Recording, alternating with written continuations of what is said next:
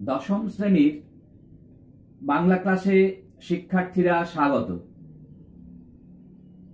আজ আমরা মতি নন্দীর লেখা যে বিখ্যাত উপন্যাস কোনি সেই কোনি উপন্যাসের অষ্টম পরিচ্ছেদ বা তোমাদের পাঠ্য বইয়ে আট চিহ্নিত অংশটি পড়ব। এই অংশের বিষয়বস্তু খুব মর্মস্পর্শী। একটি দিনের ঘটনা এখানে উল্লেখ করা হয়েছে। এই অংশের সূচনাতেই আমরা দেখতে পাই ক্ষিতিশ সিংহ, অ্যাপোলো যে সাঁতার ক্লাব, সেখানে অপেক্ষা করছেন। কনির অপেক্ষা কনি আসে সাঁতার শিখতে এখানে। কিন্তু অনেকক্ষণ পরেও কনি সেখানে আর পৌঁছয়নি। ক্ষিতীশ ভাবছেন যে গত পনেরো দিন ধরে সে নিয়মিত এসেছে এবং সাঁতার প্রশিক্ষণের খুঁটিনাটিগুলো তিনি কনিকে দিয়েছেন। বারবার করে তিনি সেই সাঁতারের যে কৌশল, সেটা রপ্ত করানোর চেষ্টা করছেন। এবং তাকে লোভ দেখাচ্ছেন। কিন্তু কনি না আসাতে ক্ষিতি সত্যি সত্যি চিন্তিত হলেন বিষণ্ন হলেন এবং কনির নিষ্ঠা সম্পর্কে তার মনের মধ্যে একটু ভাবনারও উদয় হলো। তিনি বেরিয়ে পড়লেন। তিনি অ্যাপোলো থেকে বেরিয়ে পড়লেন। বেরিয়ে পড়ে তিনি পৌঁছে গেলেন বিষ্ণুধরের বাড়িতে। বিষ্ণুধর ক্ষিতীশ সিংহকে দেখে খুবই খুশি হলেন এবং তিনি বললেন যে, দর্জিপাড়া বয়েজ লাইব্রেরির বেশ কিছু সদস্য তার কাছে এসেছিলেন, আমন্ত্রণ জানিয়ে গিয়েছেন। তাদের যে অনুষ্ঠান, সেখানে চিফ গেস্ট হিসেবে। তার জন্য তাকে একটি স্পিচ, উনি বলেছেন স্পিচ, অর্থাৎ একটা বক্তৃতা লিখে দিতে হবে। এবং আরও উৎসাহের সঙ্গে জানিয়েছেন যে তার প্রবল প্রতিদ্বন্দ্বী যে বিনোদ ভর, সেখানে প্রেসিডেন্ট হবেন। সেই অনুষ্ঠানে সভাপতির আসন অলঙ্কৃত করবেন তারই প্রতিদ্বন্দ্বী বিনোদ ভর। তিনি ক্ষিতীশ সিংহকে বললেন, এমন বক্তৃতা লিখে দিতে হবে, এমন স্পিচ লিখে দিতে হবে, যাতে করে একটা ক্ল্যাপও সেই বিনোদভর না পান। সমস্ত ক্ল্যাপ অর্থাৎ হাততালি, তিনি কেড়ে নিতে পারেন এবং তিনি বিনোদভরকে ডাউন দিতে পারেন। এই যে তার মত, এটিকে ক্ষিতীশবাবু খুব সুকৌশলে ব্যবহার করলেন। তিনি বললেন যে, একদিন ডাউন দিয়ে কি হবে? এমন চেষ্টা করতে হবে যাতে বারবার প্রতিদিন আপনি বিনোদ ভরকে ডাউন দিতে পারেন। তখন বিষ্ণুধর বললেন, সেটা কীভাবে? তখন ক্ষিতীশ সিংহ বললেন যে, ধরুন, উনি ড্রামা ক্লাবের সদস্য হলেন। আপনাকেও ড্রামা ক্লাবে যেতে হবে। উনি কোনো হরিসভার পৃষ্ঠপোষক হলেন, আপনাকেও হরিসভার পৃষ্ঠপোষক হতে হবে। উনি কোনো সুইমিং ক্লাবের প্রেসিডেন্ট হলেন, আপনাকেও তার রাইভাল কোনো সুইমিং ক্লাবের প্রেসিডেন্ট হতে হবে। এইবার বিষ্ণুধর উৎসাহ দেখিয়ে বলে উঠলেন, তাই তো, কিন্তু আমি হব কি করে? তখন ক্ষিতীশ সিংহ বললেন যে, জুপিটারের প্রেসিডেন্ট বিনোদ ভর, তার প্রতিদ্বন্দ্বী সাঁতারের ক্লাব হচ্ছে অ্যাপোলো। সেই অ্যাপোলোর প্রেসিডেন্ট পদ তিনি যদি অলঙ্কৃত করেন, তবে তার উদ্দেশ্য চরিতার্থ হতে পারে। কিন্তু খরচ করতে হবে। তিনি বললেন, সাত হাজার টাকা। তিনি যদি ডোনেশন দেন প্রেসিডেন্ট হতে গেলে তো ডোনেশন দিতে হয়। সাত হাজার টাকা ডোনেশন দেন, তবে তিনি সেই অ্যাপোলোর প্রেসিডেন্ট হতে পারবেন।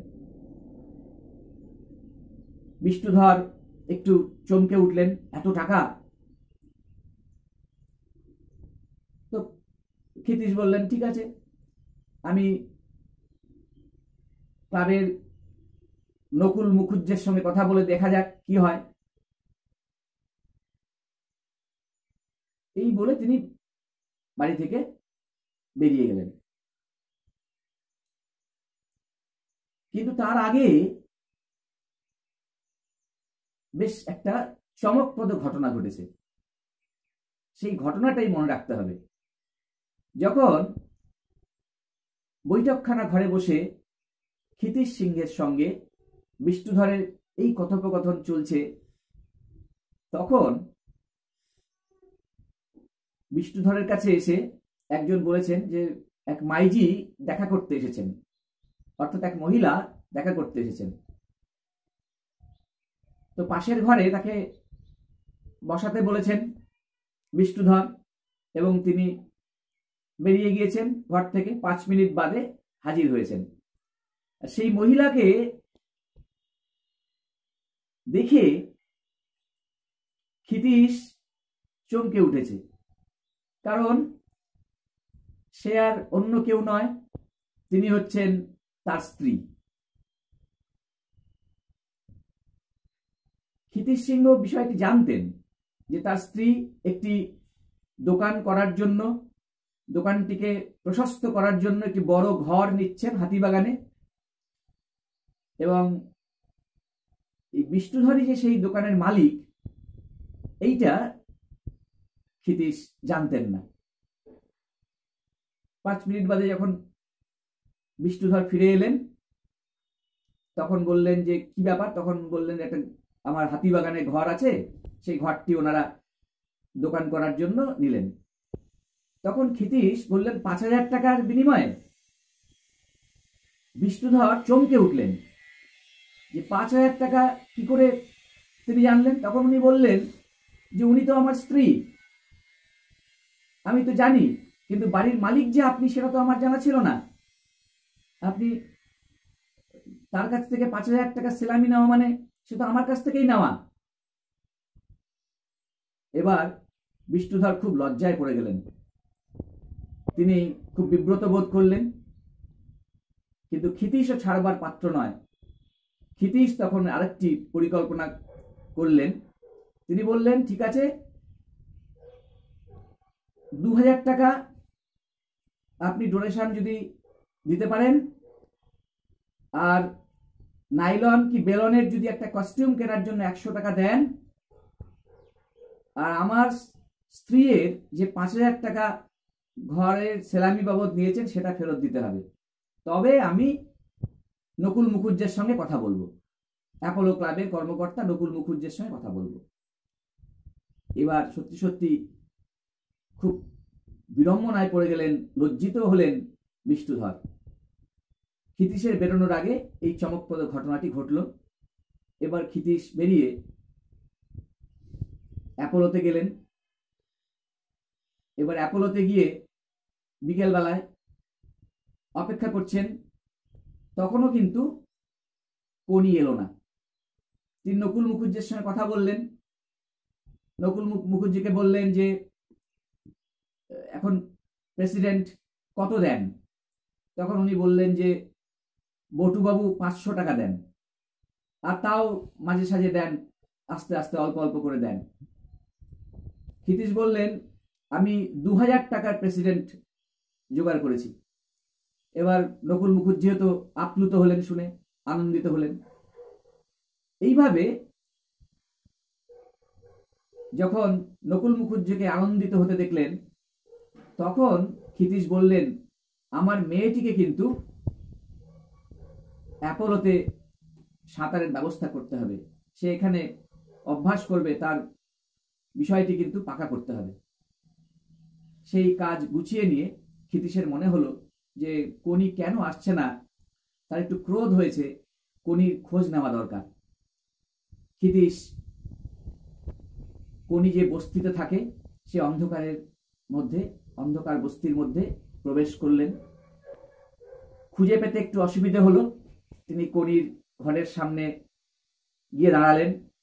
একটি কুপি জ্বলছে, মৃদু আলো।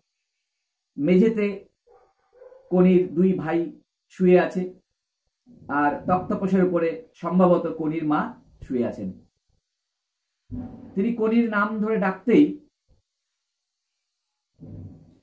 আলো আধারির মধ্যে কনি ঘর থেকে বেরিয়ে এসে দাঁড়াল দরজার মুখে।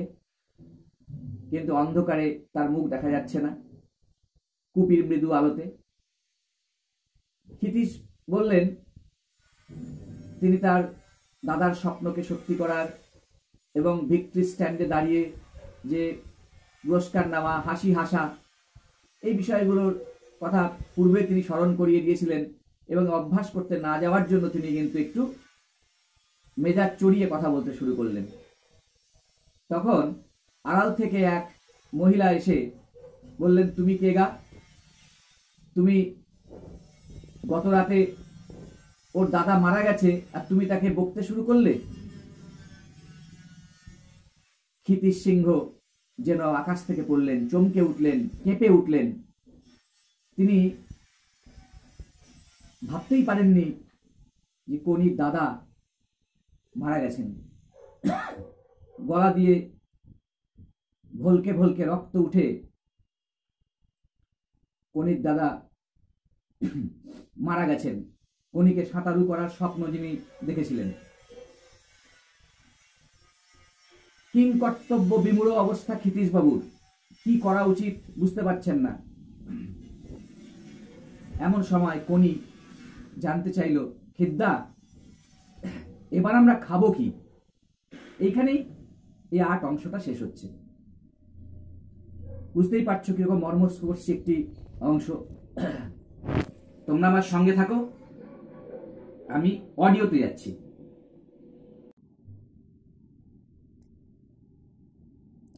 আশা করি এতক্ষণ তোমাদের কাছে কোনি উপন্যাসের আট চিহ্নিত অংশের বিষয়বস্তু যা বললাম তোমরা বুঝতে পেরেছ।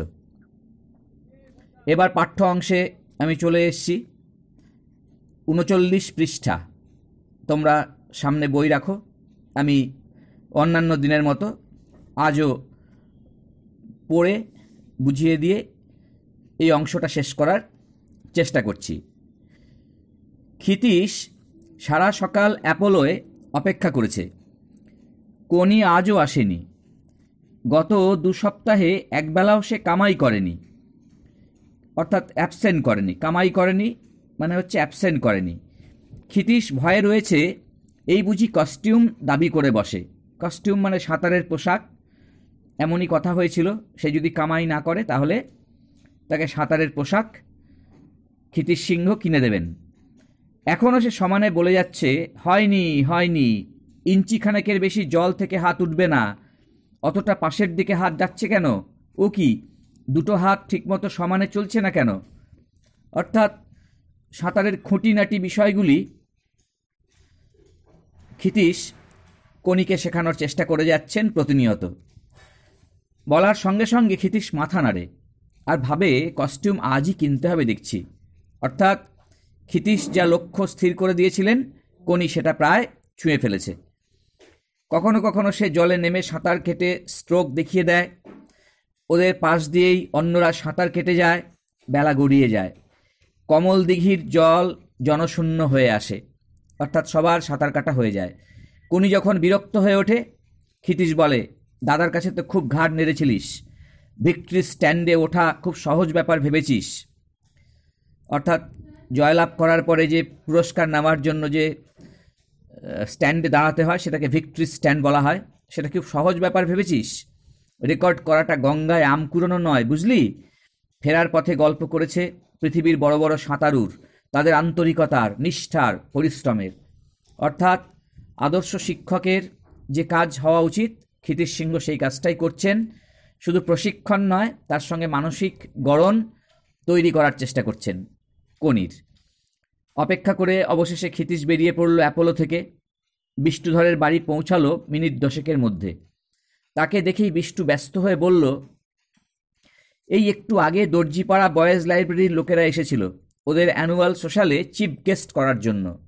অর্থাৎ প্রধান অতিথি হিসেবে তাকে তারা নিয়ে যাবেন। প্রেসিডেন্ট হবে কে জানেন? ওই বিনোদ ভর। আমি রাজি হয়ে গেছি।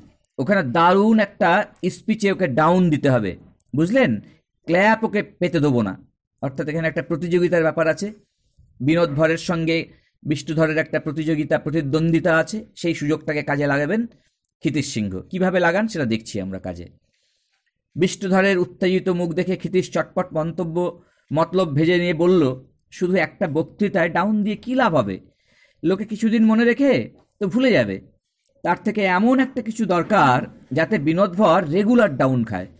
কীরকম? বিষ্টু কৌতূহল দেখাল। রেগুলার ডাউন কীভাবে সম্ভব? ভাবতে হয়েছে, তিন দিন ধরে ভেবেছি, ক্ষিতীশ নিজেকে গুরুত্ব দেবার জন্য গলার স্বর ভারিক্কি করে তুলল। ভেবে দেখলুম, বিনোদ ভর যে যে অর্গানাইজেশনে আছে, তার পাল্টাগুলোয় ঢুকতে হবে। ও যদি ড্রামা ক্লাবে থাকে, আপনাকেও ড্রামা ক্লাবে ঢুকতে হবে। ও যদি কোনো হরিসভার পৃষ্ঠপোষক হয়, আপনাকেও একটি হরিসভার ঘাঁটি গাঁটতে হবে। ও যদি কোনো সুইমিং ক্লাবের প্রেসিডেন্ট হয়, ডট ডট ডট, অর্থাৎ মূল কথা হচ্ছে এটাই, তাকে সুইমিং ক্লাবের প্রেসিডেন্ট একটা টোপ ক্ষিতীশ সিংহ রাখছেন। আছে, বিষ্ণুধর প্রায় চেঁচিয়ে উঠল। জুপিটারের প্রেসিডেন্ট বিনোদ ভর ক্ষিতীশ মাথা হেলিয়ে বলল, আপনাকে জুপিটারের রাইভাল ক্লাবে ঢুকতে হবে। রাইভাল মানে শত্রু বিপক্ষ শিবির। সেটা তো অ্যাপোলো, কিন্তু ঢুকবো কি করে? বিষ্ণুধর বিমর্ষ গলায় বলল, পারেন একটা কিছু করে দিতে।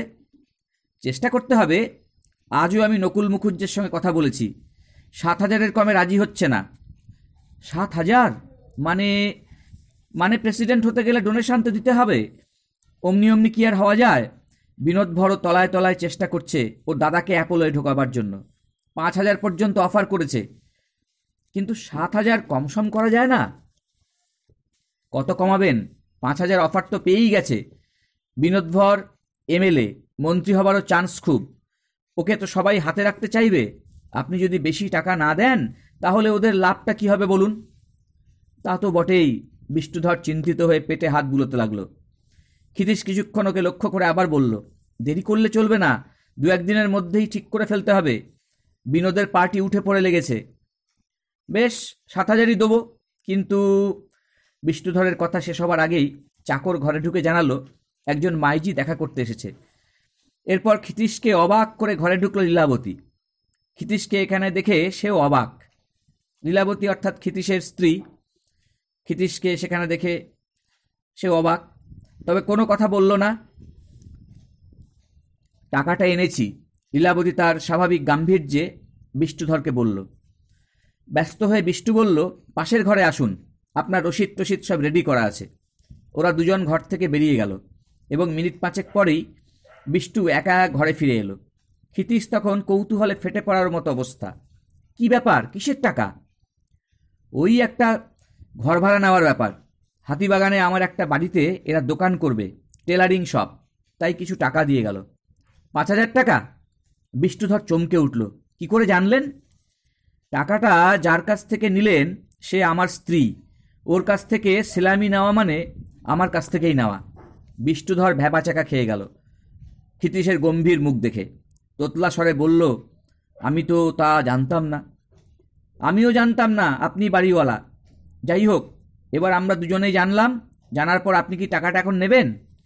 বিষ্টু আরও তোতলা হয়ে গেল। ইয়ে এটা তো ব্যবসার ব্যাপার, আমাকে তো খেয়ে পড়ে বাঁচতে হবে।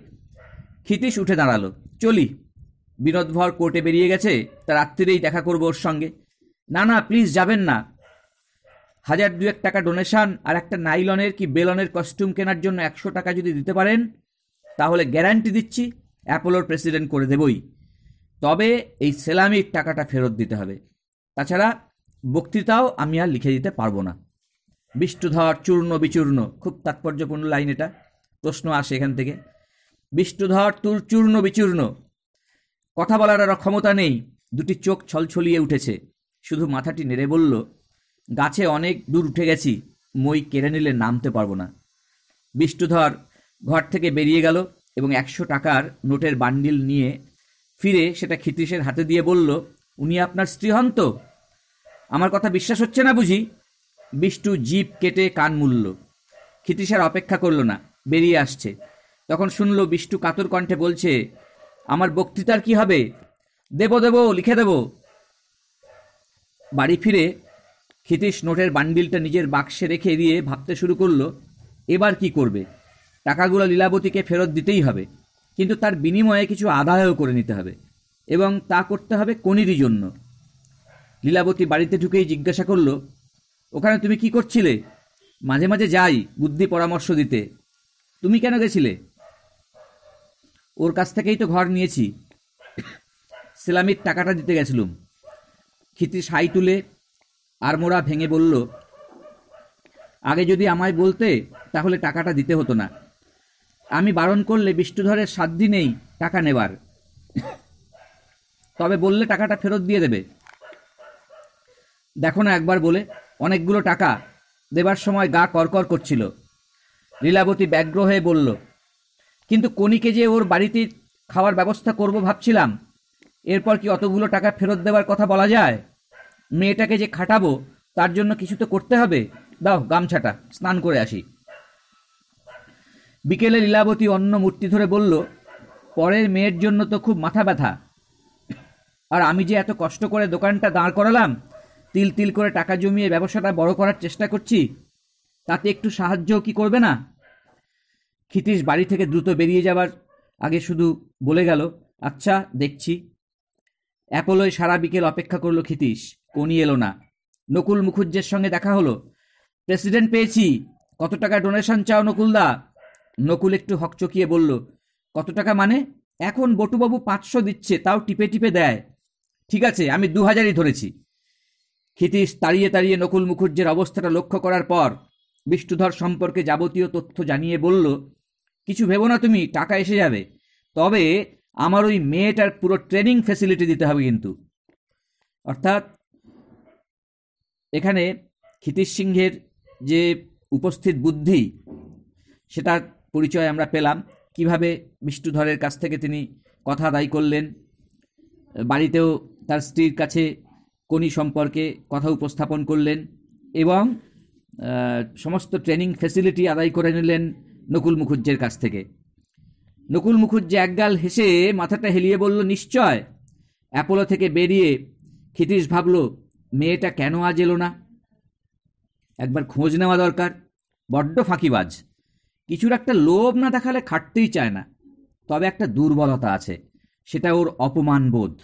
ক্ষিতীশের প্রায়ই মনে পড়ে, প্রাইজ না নিয়ে লেক থেকে কনির চলে আসা আর ঘুরে দাঁড়িয়ে তার বিজয়ীর নামটি শোনার সেই ভঙ্গিটি। দাদার কাছ থেকে দূরে দাঁড়িয়ে অপরাধীর মতো মুখ নিচু করে থাকা মেয়েটি হঠাৎ যেন দপ করে জ্বলে উঠেছিল। বস্তির মধ্যে আলো নেই। ক্ষিতীশ একটু অসুবিধায় পড়ল ঘরটা খুঁজে বার করতে।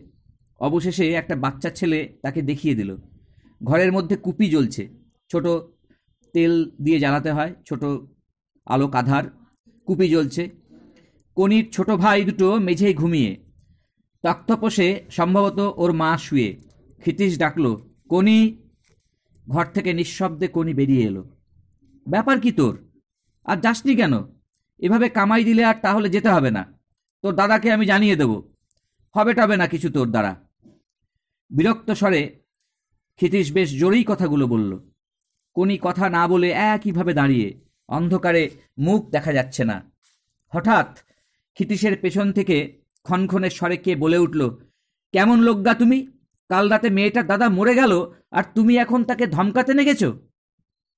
ক্ষিতীশ প্রথমে বুঝতে পারেনি সে কি শুনল। পিছনে তাকিয়ে বলল, কে মরে গেছে? জানো না দেখছি। কাল বিকেল থেকে মুখে অক্ত উঠল, ভলকে ভলকে, রাত্রির এই কাবার।